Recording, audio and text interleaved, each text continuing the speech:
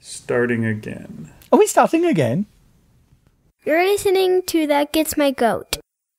You should know better. Hi, everybody. Welcome to another episode of That Gets My Goat. I am Big Anklevich. And I am Rish Outfield. And this is going to be a small Yes, episode of That Gets My Goat. tiny, It's very small, ant sized. except for when it goes giant sized. Then what is it going to be? Uh, pain in the ass to edit.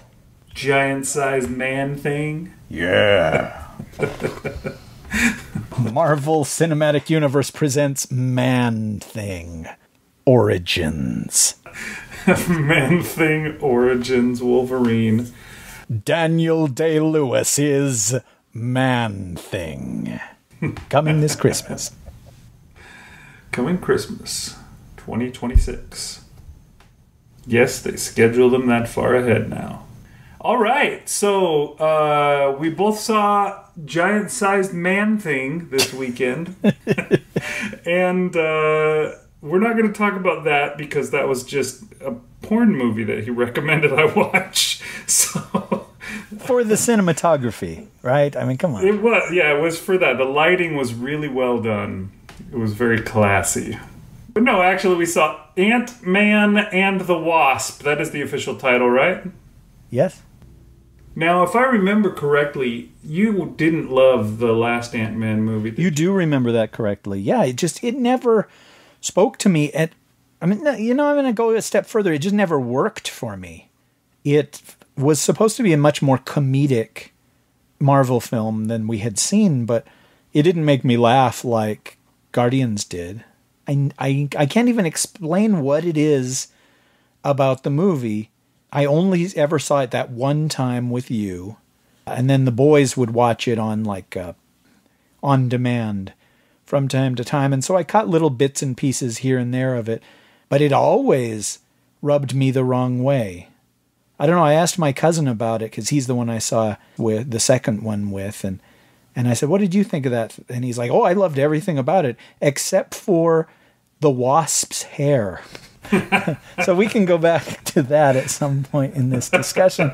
But so I, I can't even really express what it was. I remember on that episode trying to put into words what it was that I disliked about it, and I I, I think the comedic elements just didn't they weren't funny to me. They were more annoying. I felt like all of uh, Scott Lang's friends were irritating rather than amusing. But they were all back in this one, and I didn't have a problem with them. And I, I just I'm not sure what the problem was. The Hmm, uh, the fact that Peyton Reed, the director, came on board at the very last minute and had very very little to do with you know the script and all that stuff might have had something to do with it, but that shouldn't make the movie less funny. So Peyton Reed came on board the last minute of the old Ant Man. Of the first one, yeah, remember Edgar The Wright was movie. developing that for years and Yeah, I do remember. he and him- Marvel just butted heads and he walked away from the project and they said, "No, you know what? It's still going to make its release date. We got a new director and uh, here he is." And he just sort of picked up from where they left off. But on this one, you know, he had 3 years to uh, develop and this, you know, the script and all this. So this was the same director. Same again. guy, yeah, except for he actually manned this one from the beginning. Uh-huh. Uh, but well, sorry, let me ask you what you remember about the first Ant Man because you also haven't seen it since the first since the theater. Yeah, the sad thing is I own the DVD, but I haven't seen it since the, the first time that I watched it. I've probably seen it less than you. Uh, the reason I own the DVD is because my daughter wanted it. She kept asking for it over and over again. She wanted to see it. I guess she was a big fan when she saw it in the theater and wanted to uh, to see it again. And uh, we eventually bought the DVD. I think she wanted to like rent it I don't know if you've ever done the renting thing that you can do with like Amazon or something, where you pay way more than you should, and you get the the thing for like a day, and you can watch the file or whatever for a day, and then it goes away. I've found that they, they usually make you pay like five bucks or more just to rent the damn thing for a day, and I figure, okay, so five bucks for one day, or twenty bucks to own it. Uh, I guess I'll just own it. That's what we did. And yeah, I own the movie, but yeah, I don't I don't think I ever saw it again. I don't remember like when when there was the parts early on in the movie where you see Hope's hair. I don't remember it being like that. I suppose I should because uh, Janet Van Dyne has always had that kind of little pixie cut in all of the anything that I've ever seen that has the wasp in it.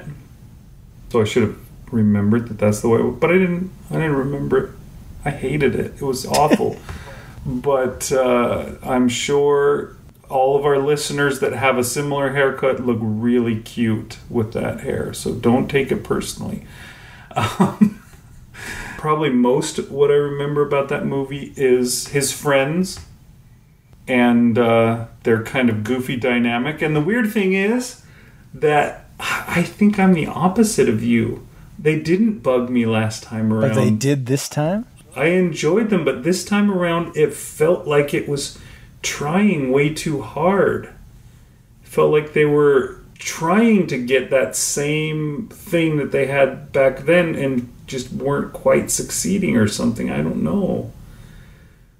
But um, I think I prefer the first movie to this one.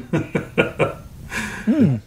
I still enjoyed it okay, but there was just a, several times where I'm just like, uh, I think maybe the addition of the FBI agent who basically seemed like uh, one of their friends from college that they must have like one of them moved to you know New York and so they didn't hang out for a while and then he came back and now he's an FBI agent so they couldn't be friends anymore. But they still talked the same! Like what was the deal with that FBI agent guy that was basic do you remember the names of any of his friends no I don't know the names but of, you can certainly use ethnicity for us to know which one you're talking about. Yeah, you could. There was the the main friend who was the Hispanic dude. Basically, that the Asian FBI agent seemed uh, like a carbon copy of the Hispanic dude, just like fast talking, kind of like goofy and and a little awkward with everything that he said, and like you know always like the end thing where he says, "I'll see you later," and he goes, "What? Uh, like, do you have plans?" Oh, no, well, uh, I mean, I, I could go get something. I'm I'm kind of hungry. do you want to go out to dinner? I don't know. It just seemed too like they were reaching too much to try and be funny.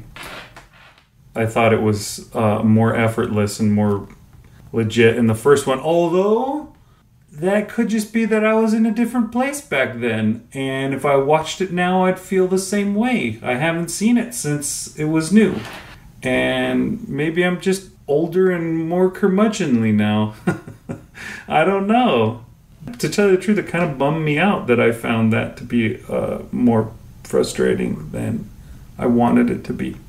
Well, that's that's okay. I might have had that conversation with people about Iron Man three there are people that really, really love that movie, and I sort of wish that I could. I just don't.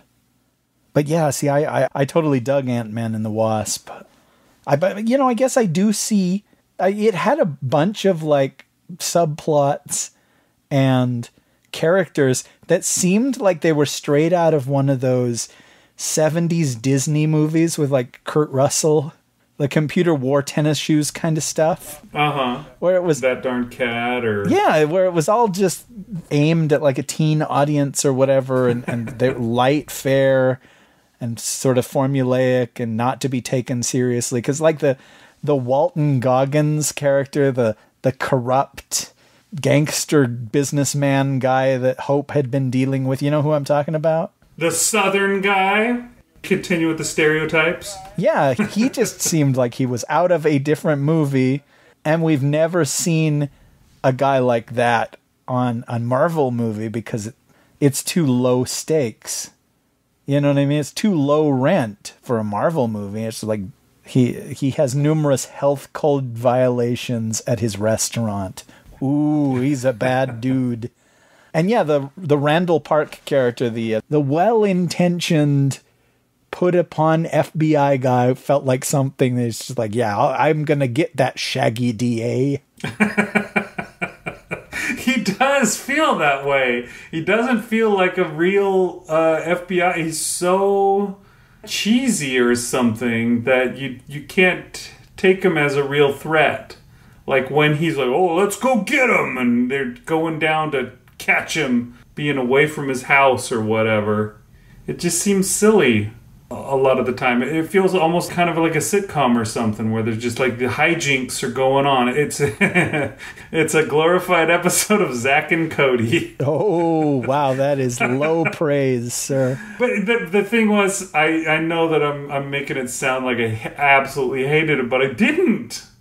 I still enjoyed it. It didn't feel as much like a Marvel movie, maybe because of that, or maybe that's better. I don't know. I mean, we just had Infinity War, which was low on comedic moments, really high on b- bad things happening, awful, everybody dying, worlds ending, etc., etc. So maybe this is what we needed to follow that up with. You know, you got to have something that's a little more fun, a little more silly, a little more wacky and crazy. And when it comes down to it, shrinking and, and growing things, it's more of a fun power than I don't know having a giant hammer that you can shoot lightning with or something. Yes, and I I thought that they did wonders with the premise of shrinking and growing things. Oh yeah, There was a hundred different like little gags of stuff that we hadn't seen before, and you know the the stuff with the van getting smaller and bigger, and a, a chase through Uh-huh, San Francisco with you know narrow escapes and uh, bouncing underneath the the guy that's after you, and then growing big, so you take him out. And I don't know. I've just found all of that really delightful and inventive yeah, I, I love that stuff. in ways that are just like, oh yeah, that's oh cool, and now they can shrink other object. Oh cool. Like when they throw the freaking Pez dispenser out and it just turns into a gigantic thing and takes out a car. And I, I love their little Hot Wheels carrying case that's just full of cars that can shrink and grow and they can just switch them out. That was awesome. Uh, and yeah, there was a lot of awesome to it. So I don't want to make it sound like I hated it. But yeah, I did feel like it tried a little too hard in some places. And I think the FBI agent being the way he was might have been the clincher for me. You know, you, you, you can only have so many characters like that. And maybe uh, on top of it, that one bit with the truth serum when our southern gangster guy comes in and they give the Hispanic guy his. Uh, I'm to look this guy's name up. I don't want to just keep calling him Hispanic guy the whole show. Okay. On a second. You could say Michael Pena if you want. Michael Pena. Uh, Luis, okay. Sonny Birch is who Walton Goggins played. You know, it's weird. I yeah, I was looking up. I, in fact, I have the Wikipedia page in front of me, so I should have uh, been able to help you out. Dang it, I didn't even think about it. But yeah, Sonny Birch is from the comics. Is he? Yeah. Just, I, uh, it's funny that he was just like a, a very minor Iron Man villain or something like that that they decided to throw Yeah. in there. And And so when they had the truth serum and uh, Sonny Birch comes in and uh, administers it to uh, Louise, um, to his character. I don't know. I, there's that too. Like Sonny Birch is kind of a goofy guy, and his sidekicks are kind of goofy. And like, why are they having this long fight over whether truth serum is a real thing or not a real thing? It was kind of fun to see Michael because Michael Pena's character, I don't know, the way he tells stories, and, and I think my favorite part about him is when they would have him telling the story, but it would cut away to other people talking. they would say things because it, it was still his voice talking. She's like, say this, and he does the the head movement, and then it cuts to, and you see Evangeline Lilly or whatever doing the same kind of head movements and stuff as they tell their, you know, summations of their lines that Michael Pena gives them. I really did like the way that they would do that. okay, well, let's talk about the main, the A story, as they say. You know, the Oh, okay. the Scott Lang. Well, I guess is is the A story Hank Pym trying to rescue his wife from the quantum realm, or is the A story Scott Lang only having a couple days left on his sentence and trying not to uh, rock the boat? No, I think him only having a couple days left in his sentence is like the extenuating circumstances. You know what I mean? It's like, here's this that has to happen now, but now there's also some wackiness because he's only got two days left and he can't be seen out. Okay. So yeah, I think Hope and Hank trying to save their mother is is the big main story. The one thing that I really liked about the A story is our villain. She wasn't really a villain, as it were. You know what I mean? She just needed the same thing for a different reason. She was a really sympathetic kind of character. You know, you, you see her and you think, oh, you know, she's really scary and she does some scary stuff when they first introduce her. And then you see her get home and she has to go into this freaking like Michael Jackson, you know, cryo chamber bubble to sleep in because she can barely keep it together. And then you're like, oh no, I, I kind of want her to be okay too. And I kind of liked that. I really liked that idea. It's, almost like a civil war kind of a thing, you know, where you just pit two sides against each other, and they're not really either of them bad guys. Uh, although Ghost was a little more of a bad guy because she was kind of been used by Shield as an assassin or something. You know, she had a little, she was a little more morally gray than uh, our heroes were, and uh, luckily she had Laurence Fishburne to keep her in line. But yeah, I really I, I liked that facet of the story. That's that's interesting. I, I was terrified by Ghost, but uh, mostly just there was something about her face that really upset me. Yeah. Yeah, I just I I asked my cousin afterward, "Well, did she scare you? And he's like, no. And so uh, I don't know. Your cousin was missing something because she did have a scary look to her when she would. I think because most of the time, also, she was meant to look kind of haggard. Were her eyes really that color, you think? Does that actress really have that color of eyes, or did they do something to her eyes? oh, you know you that a regular picture. that could have explained a bit why I was so unnerved by her that she had contact lenses on or something. You know, I, I that didn't even occur to me. I just thought they had either made her look frightening, you know, in some way because she's she's like a, somebody that's hooked on painkillers and right. you know it can't think straight anymore and she's she's like a scary junkie that you find in your uh, garage in the middle of the night Right.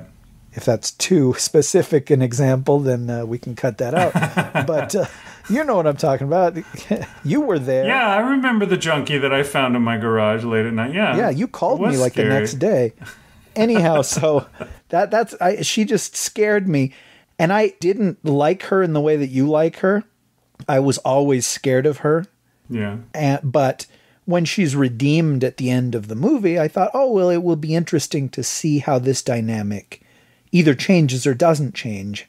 I would hope that she's still deadly and vicious and cannot be depended upon and all that stuff. And she'll be like a, a part of the team, but one of those team members that, you know, doesn't see it the same way as the the other team members. One of them that's always uh, on the side, Yeah. an anti-hero kind of thing, rather than being fully rehabilitated by the next time we see her. The one that they're always wondering whether they can trust her to do things the right way or something, you know. Right? Like, can you do this? Can you do this without killing people?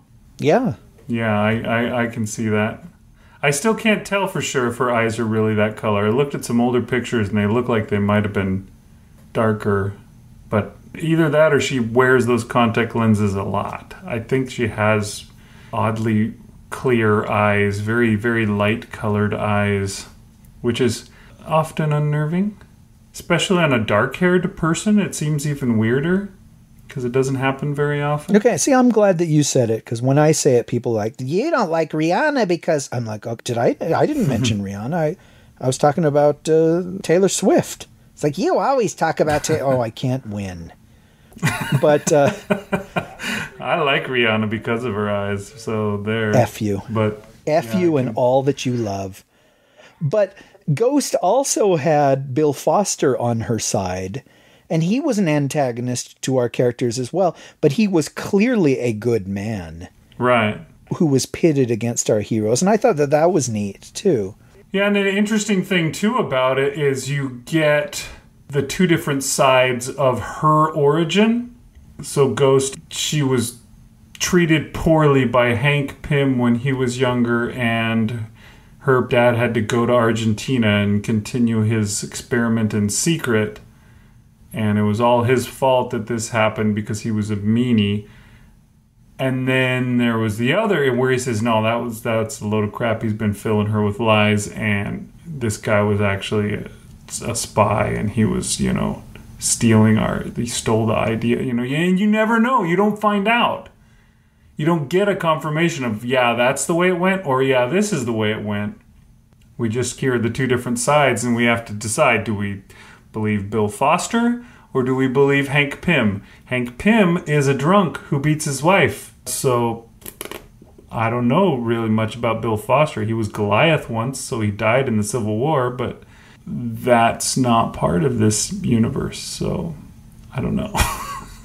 well, I, until you brought up that uh, aspect of, of Hank Pym's history, I was going to bring up that, uh, you know, he was one of the more flawed characters that Stan Lee came up with. A, a, heroic character who was difficult to like at the best of times.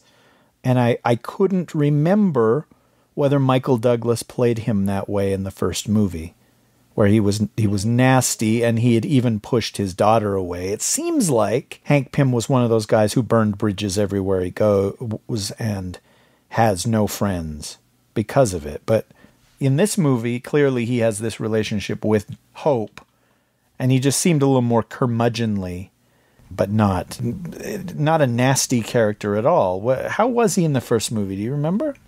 He was similar as he is in this movie. He had uh, curmudgeonly is probably a good way to put it, but he was also, you know, the the more the the wise old curmudgeon that you you know you have to put up with his curmudgeonness because he's got so much to offer kind of a thing as opposed to what he is in the comics where he's a much darker character that uh, has got serious problems.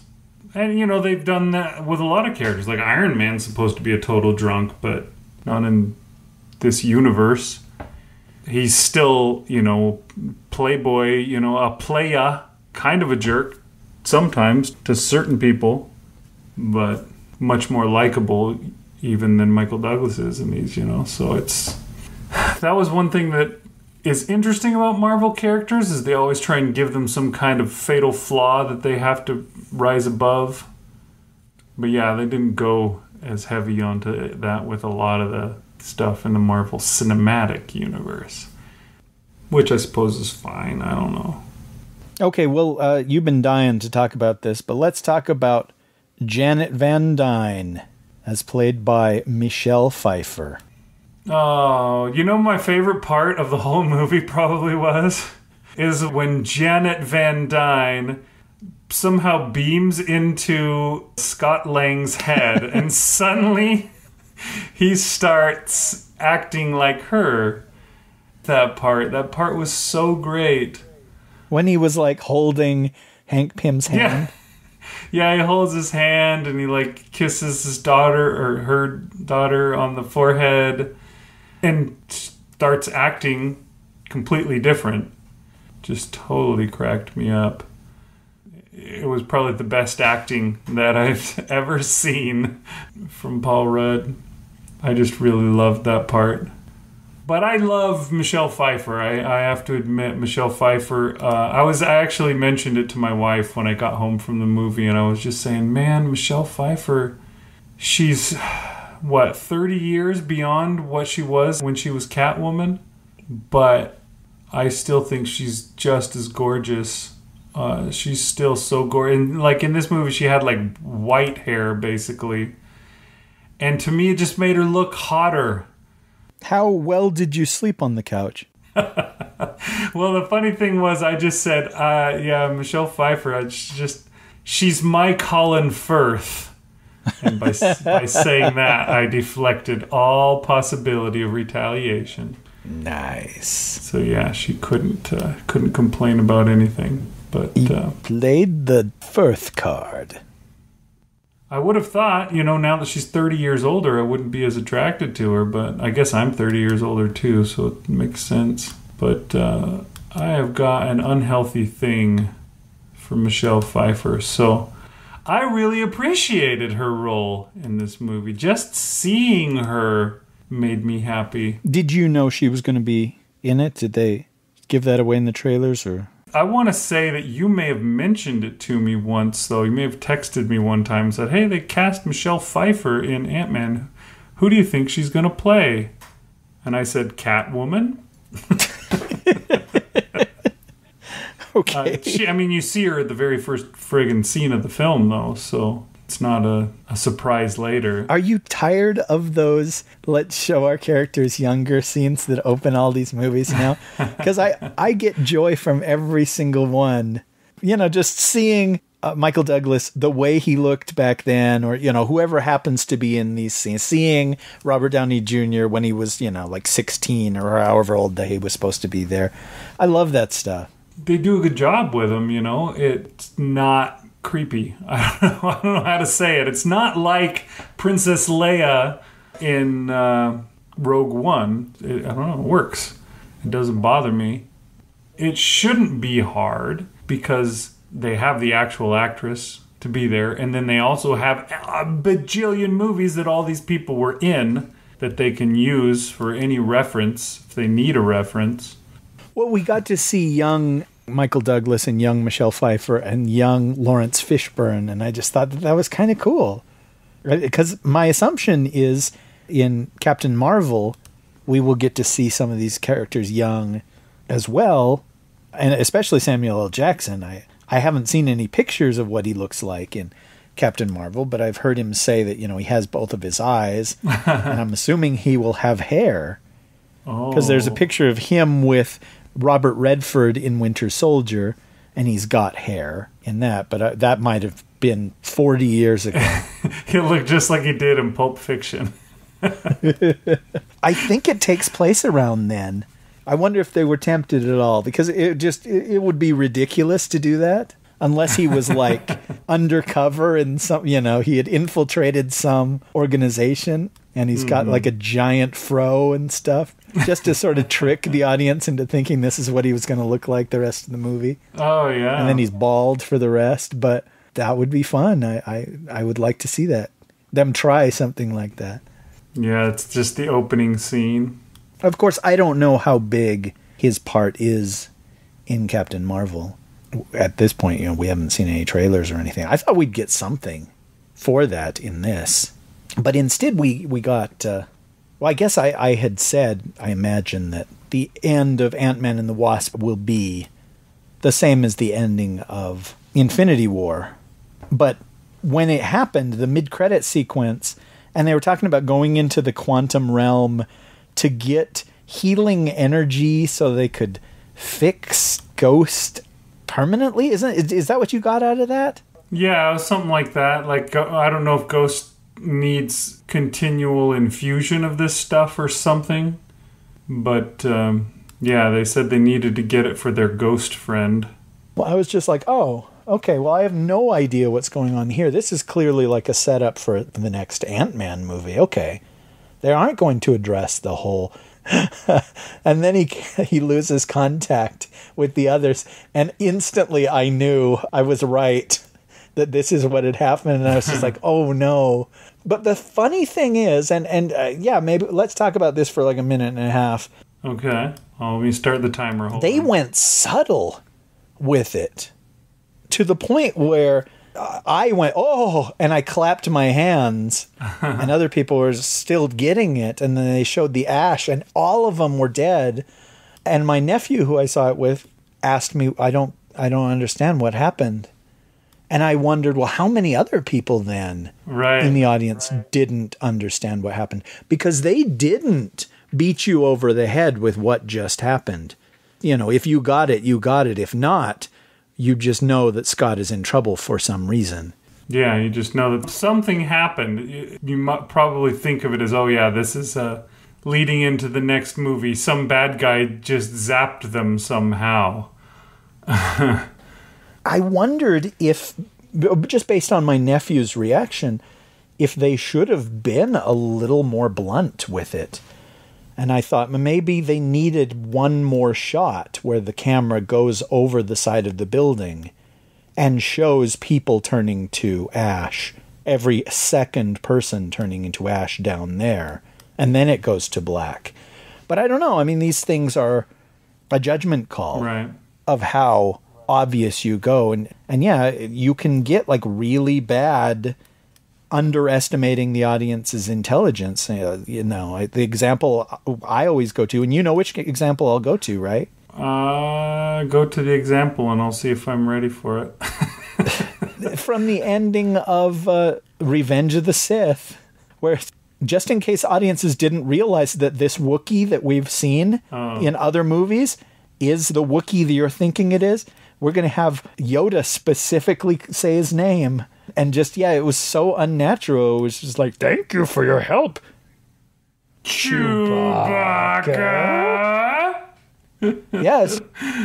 And then he turned to the camera and winked at everybody and pointed with his thumb.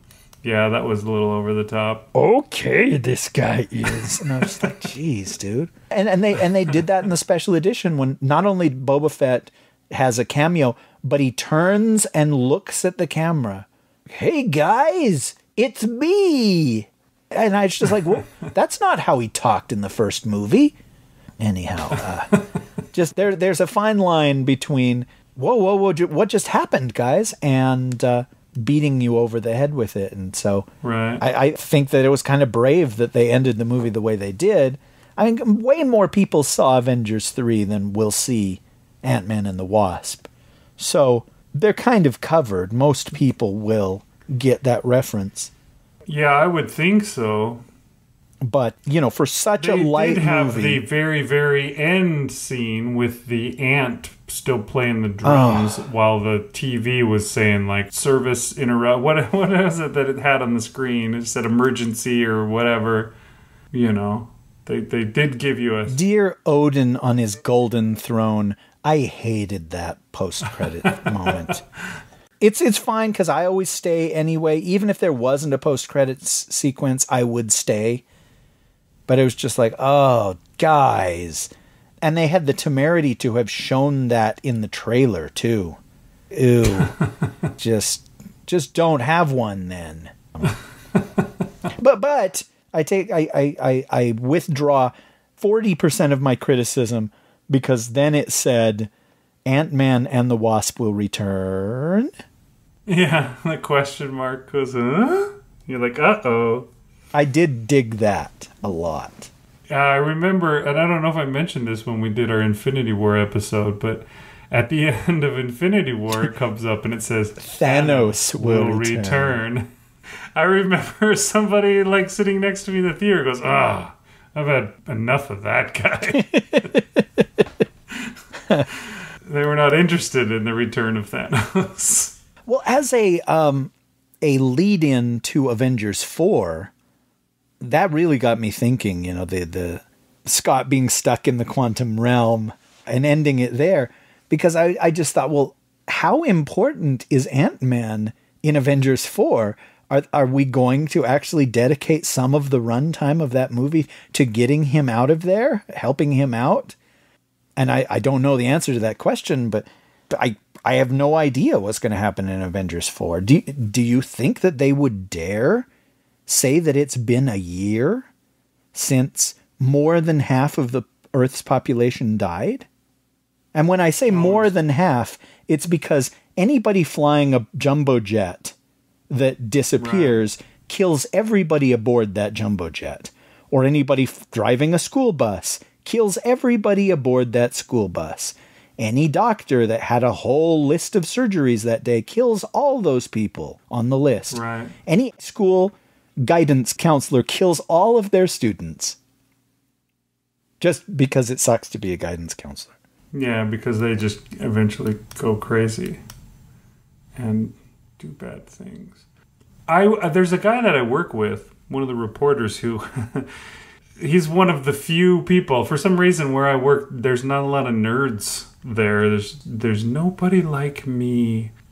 But since I'm the one guy who shows up wearing like Captain America t-shirts to work all the time, this guy knows that that you know, I'm cool. He could talk to me about Marvel. So he always every time he sees me asks me about this movie and that movie. And he was telling me, "Oh yeah, are you excited about Ant-Man? I hear that uh, you know something about this quantum realm is going to be a big thing in the next Infinity War, you know, the Infinity War sequel. Something about the quantum realm is going to be how they go back and undo Thanos' victory. And then I saw him today, and he said, "Oh yeah, did you see it?" And I said, "Yeah." And you know, we talked for a second about it, and then I said, "So what did you what did you learn about this quantum realm? Is there something that you see?" And he goes, "Uh, well." So I still think there's, you know, the powers that she had from being down in there. Maybe Scott's going to come out with something, or something's going to, or they went down and they harvested all that quantum energy or whatever. You know, when he comes out, and he he didn't seem very concerned about Scott being stuck down there because apparently, you know, Scott went down there once before in the end of the first movie and came out on his own. So that's what we're expecting him to do. Now, here's a question for you What did Michelle Pfeiffer eat for those 30 years that she was living in the I realm? imagine they were those big spore looking walrus creatures. those giant worms. Somebody had that as the, that kind of a worm as like their profile picture on Facebook. One of the fans of the show I would see Really? that all the time. Oh, that's cool. I got to check that out. Yeah, some some college is going to adopt that as their mascot because it used to be the uh, I don't know, baby rapers or something, something that you're just not allowed to have anymore as your mascot. For for uh, 150 years it was totally fine. Yeah, but now all of a sudden we're starting to realize that yeah, that's just not okay. so now they're going to be the earworms. The the Loyola Marymount Quantum Worms. I wonder what the mascot is for the Loyola Marymount. I don't know. You'd have to be a fan of college basketball. It it was a drunken slave owner. I don't know why. It just that's that's Yeah, that what it was? All that all those years. he had a jug with XXX on it in one hand and a whip in the other. Yeah, it really was time that they changed that mascot to the Quantum Worms. Then I'm, I'm sorry, I, I've just derailed us, but uh, I, I I found this movie really really fun, and again, I just I wanted to, uh, I guess, congratulate Kevin Feige with this insanely good track record that he's had. I mean, once this is all done, once they stop making a gazillion dollars these Marvel movies, and they or you know the, the two or three in a row suck, and the uh, thing is broken, or he retires, because sometimes you need to do that. You need to retire from basketball before yeah. start You retire slip. while you're on top, and don't come back and play for the Wizards like several years later. Yeah, that's probably a good idea. Someday in the future, people will look back at this as the, you know, most impressive producerial run, you know, maybe of all time, maybe of the 21st century. But uh, yeah, I really enjoyed Ant Man and the Wasp, and I had never been a fan of either of those characters, and I didn't even like the first movie, and I just, I don't know.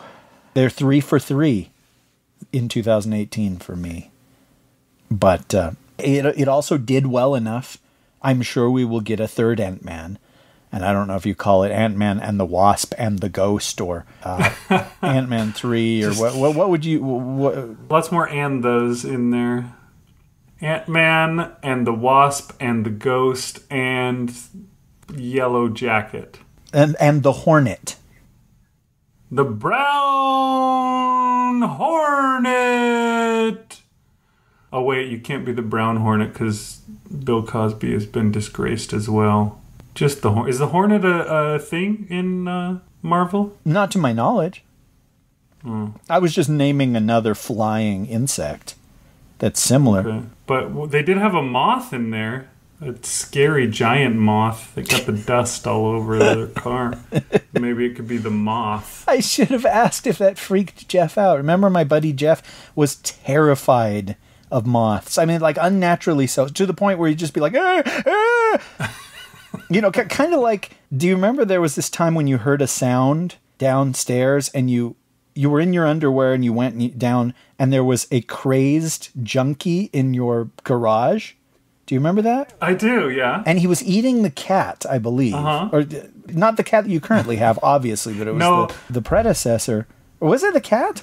If he was eating the cat, he would have been appreciated and not uh, looked back on as a scary event. So it wasn't the cat. Anyway, your reaction to the, I, I imagine your reaction to the unwelcome visitor in the middle of the night was is similar to how Jeff responds to moths.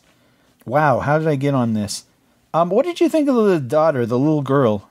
She was cute. I liked her. Was she the same girl? I was wondering about that during the movie. That's the weird thing is she did not look like the same girl to me, but she was. She was. same actress. She just, I guess that's what three years can do to a person. Behold the ravages of age. but she is also a Marvel character. Cassie Lang is called Stinger in the comics. She is a superhero as well. And so when he was going into the quantum realm, they said something about time in there and it, I felt like okay, this line about time, time uh, not working the same way, or you know, the, the temporal drift, or whatever they were talking about. I thought this is here to set something up. And so what's weird is I thought he was going to run into Cassie as Stinger, like Cassie as a teen or as a grown woman from the future because she talked about how she wanted to get his back and she wanted to be a superhero. And I thought that that was mm-hmm. setting things up for this moment. But of course it wasn't. It was just, oh, you know, we acknowledge that half the people on Earth died, guys. Don't think that that slipped our minds. It could be setting something up, though, you know. If time, something's weird about time, he might wind up with the older version of his daughter, and she might be there to help him and get his back as part of the story, and then things get restored to the way they were, and all of a sudden, here she is, she's just a child again. But where do you tell that story? A- had a glimpse of her future and stuff. I don't know. Yeah, I mean, that could be part of Avengers Infinity War, or maybe it's not. Maybe it's Ant Man 3. Ant Man if- and the Wasp and the Stinger. Huh? Okay, hey, I, I can live with that. if Scott Lang is not in Avengers 4, then you can just, yeah, pick up that story, you know, whenever they do that next movie. I am assuming three years from now, right? They seem to like doing the three year space gap thing. Yeah. Three years and three movies, and that's all you get. Well, that I don't appreciate, but uh, we talked about that before. It's just, yeah. It is just, yeah. Well, you know, it's, it's the guy that uh, wins five hundred dollars on on the game show, and they're like, "All right, do you want to risk going on to a thousand dollars, or do you?" He's like, "No, no, I'm done." Yeah, 500 is good. He's like, "Whoa, whoa, whoa, whoa no, we have to fill twenty two minutes with this show." It's like, "Yeah, five hundred is fine. I'm I'm good." There's another guy back there behind the curtain. Just call him out. Yeah, there. Man Thing hasn't had a movie in a while. We'll cede the stage to him. Okay. If anybody can do it, you can. Kevin, I'm going to go enjoy retirement. There you go. That sums up those decisions for me in in in a the three movies and out. Everybody only gets a trilogy. Yeah, I, I, I can see that as being a bummer. I wonder, this is going to get us way off topic, but Do you know whether the Fox thing went through? Has that finished off? It's still yeah, up in the air. It looks like it's going to go through. There was a competing bid that was really, really high. And then Disney was just like, yeah, we made some money just in the back room of Cinderella's castle and, or Sleeping Beauty's castle. And, uh, and so, yeah, here's our new bid. And they're like, oh, okay. But so, so there's still a, a slight chance that it will fall apart. But yeah, it looks likely. Because you know at a certain point if they keep doing this with all these characters because they've had three thors they've had three iron mans they've had three captain americas they all got to be done and they're now two through ant-man two through uh, guardians of the galaxy and they've added in some new ones. You know we've got black panther we've got captain marvel about to come out with her first one. But at a certain point who are they going to keep bringing in? Is it going to be man thing? You know i don't think so but now that they're getting back all the Fox properties, I guess it can just start moving into the X Men and the Fantastic Four.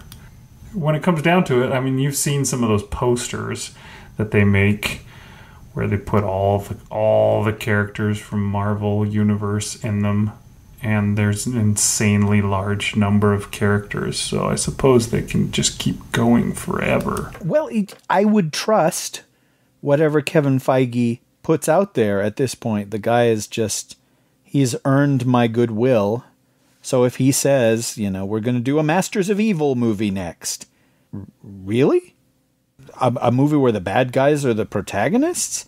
I was like, yep. And a guy that's dressed in an orange shark costume? Yes. Oh, okay. I, I would still go to it. Like, Sony is doubling down on their uh, we're going to make our own Spider-Man universe movies without Spider-Man in them because I guess they the test screenings for Venom have gone really really well. And so yeah, they're going to make a, a Black Cat and Silver Sable movie and they're going to make a Silk movie and obviously they're making the animated Miles Morales movie and they just announced that uh, Jared Leto or Leto wants to be Morbius in a Morbius movie and and so the whole time I'm just like shaking my head at thinking like I don't know that any of these projects can work. But we'll we'll see. Yeah. I expect that most likely the first one of those will come out and go nowhere and then there will be no more of them. But yeah, maybe maybe the Venom one will do really well and I'm totally wrong. I don't know. Yeah, I I don't know either. I have to admit the trailer didn't suck. I thought, oh, you know, there maybe there may be a movie in there. Whereas I said that they're you know making a Venom movie without Spider-Man in it was suicide. Suicide Squad. Even that had Batman in it. That's true, I guess. But anyhow, sorry. Yeah, I, I, we've got at least one more of these Ant Man movies, and you know, I- what if the next one was not called Ant Man and the the next one is called The Wasp, just by itself? I, I would go see that. It will be interesting, and and they've been talking about doing a solo Black Widow movie for a while, so I assume sometime before they run out of titles, they will uh, announce what do they call Wave four. What do they call the each group of Marvel film releases? phase. It'll be phase four. We'll see where they go from here, but uh, again, I feel like the the track record is just really, really great. We're watching one of those sports teams. Eh, How long can they keep this streak going? It's like watching the Patriots back in the Super Bowl again, and you're like, seriously, how?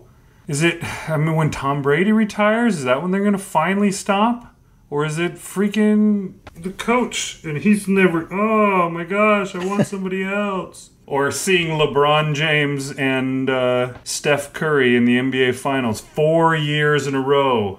Well, I'm I'm not a big fan of tennis, so I, I you know I don't really recognize those names. But but anyhow, uh, any any any final words? So thumbs up or thumbs down on on Ant Man and the Wasp?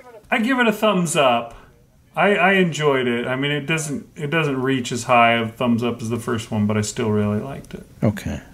Yeah, I, I would like to see this again, just for the fun of uh, shrinking and going large and small, and like the scene where he was child size at the elementary school. I, I don't know. There's something super delightful about seeing those two together, and and it was very convincing. The size discrepancy that they, they obviously they are having fun making these movies. Yeah, they're coming up with good stuff. So there we go. All right. That's it for the Marvel Cinematic Universe this year. Yeah. Be back again in 29, 2019, really? Well, we'll we'll have long white beards in 2019, old. right?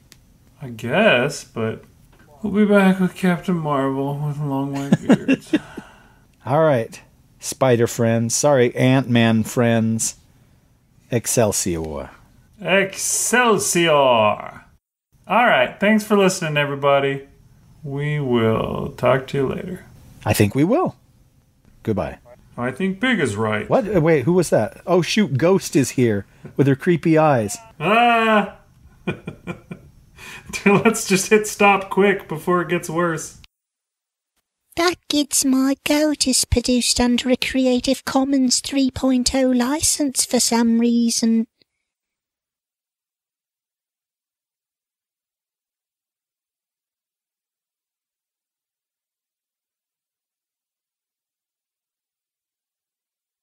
What did you think of uh, Stan's little cameo? I have no opinion on it at all. I I just I like that he keeps doing it. I felt like this one was really forgettable, but Yeah, I- that's that's fine. Yeah, I just remember his line being something cheesy. I can't remember even what he said, but I thought it was lame. there you go. But no, actually, we saw Ant Man and the Wasp. That is the official title, right? Yes. Or you could call it Marvel's Ant Man and the Wasp if you want to be super pedantic. Oh, okay. So it's like that. I'm sure I've mentioned this before, but uh, we played that. Uh, Seen it. what's that game called that you played with the DVD? Seen It.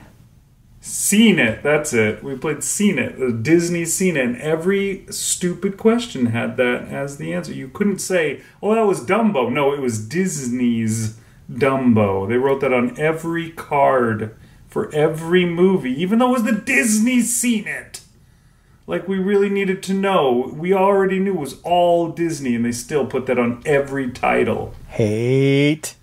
Yes, the hate is flowing through me. My, the hate has made me stronger. And here we are with a Disney property, Marvel, that does the same thing. Have they always done that with their movies? Was it Marvel's Iron Man? I mean, I, I don't know that they do it on everything. I mean, we saw it, you know, Marvel's Avengers, right? Huh. To uh, separate it from the BBC's Avengers. Right. But uh, yeah, I don't even know if it was Marvel's Ant Man and the Wasp. I'm just used to uh, all these trademarks expiring, and now they have to say Marvel's Man Thing. And you're like, "Ooh, ooh." although they definitely would say, and now back to Marvel's Agents of S.H.I.E.L.D., wouldn't they? Probably. But that that might just be because nobody knows it otherwise. It's not like you have to say Marvel's Spider Man. But Marvel's Ant Man is probably a little more important. Everybody's like, who the hell is Ant Man? Ant Man is another one of those characters. Did they come out the same year as the Galaxy uh, Galaxy Quest, the great Galaxy Fighters? The Guardians of the Galaxy, did that happen the same year? No, it was the Or- next year. It was very close after. Guardians of the right? Galaxy came out the same year as uh, Winter Soldier. Uh huh. So Ant Man was after Guardians of the Galaxy, though, right? Yes. So okay, but they, yeah, that, I don't know, man. That just both of those surprised me still that they had the chutzpah to lay it on the line like that and say, yeah, no, we're going with these ones. That's what we picked, and pull it off on top of that.